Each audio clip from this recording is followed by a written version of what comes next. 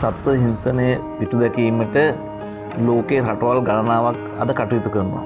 අපේ රටේ අපි බෞද්ධයන් හැටියට අපේ බුදුහාමුදුරු දේශනා කරලා තියෙන්නේ අපි ඕන කෙනෙක් දන්නවා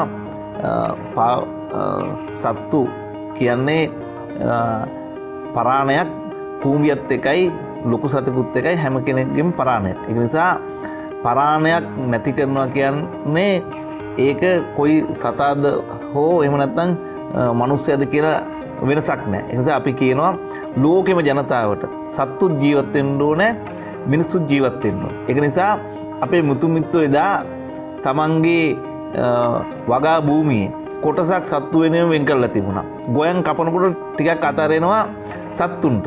හැබැයි අද එහෙම නෑ එනිසා ඒ සත්තුන්ට ජීවත්වෙන්න වටපිටාව පරිසරයක් හරියට නැති නිසා තමයි සතාගෙන් හිංසනය වෙලා තියෙන.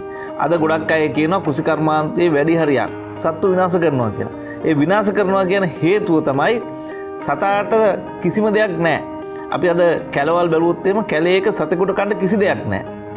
ඒ කැලේ ඇතුලේ පළතුරක් කිසිම දෙයක් නැති නිසා සත්තු විශේෂයෙන්ම අලි බැලුවොත් එම අලි වැට කඩාගෙන ගම්මානට පනින්න හේතුව තමයි කැලේ ඇස්සේ කන්න දෙයක් නැති නිසා. ඉතින් අපි එක සතා කියන්න ඒකයි. ඉතින් සතත් ජීවත්වෙන්න ඕන කන්න හොයාගෙනනවා ඉතින් අපේ ගොඩක් කට්ටිය සත්තු ජීවත්වෙන්න ප්‍රදේශවල් එලිකර කර ගෙවල් හදනවා. එම නැත්නම් හේන් හදනවා. එක නිසා තමයි සතාට හිංසනයක් වෙච්චි නිසා තමයි සතා ගම්මානෝලටෙන් එස අපි රටේ නෙමේ ලෝකම ජනතාවට කියනවා. සත්තු ජීවත්තෙන් ඕන ජනතාව ජීවත්තෙන් ඕන. මම නං හිතන්නේ නීති හදලම. මේක කරන්න පුළුවන් කමක් නෑ හැබැයි තම තමන්ගේ ආගාමනුකූලෝ කටයුතු කොරොත්.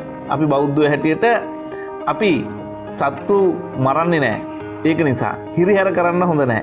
එති අපේ අපිට හිරිහරයක් වුණා වගේ තමයි සතකුට හිරිහරයක් වුණා අපි ජනතාවට කියනවා ආගමනුකූලෝ කටයුතු කොල්ලා සත්තු ජීවත්වෙන්න ඕන අපි ජීවත්වෙන්න ඕන එක නිසා සතා ආරක්ෂා කරගන්න ඕන නීති කෙටුම්පත් ගණනාවක් හදලා තියෙනවා.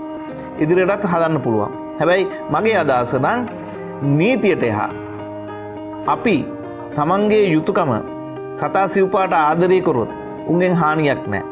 ඉස්සර මේ කැලේ ඉන්න අයට සත්තු සිල්පාව ගහලා එහෙම මොනම් වෙලා හානි වෙලා නෑ හැබැයි අද තමයි මේ නාගරි කරනෙත් එක්ක තමයි ඒක වෙලා තියෙන්නේ. ඉතින් අපි අපි කියන ඕන කෙනෙකුට සතෙකුට ආදරය කරොත් බලු පැටියකට කණ්ඩ දුන්නොත් උන්න නකුට හරි වනනවා.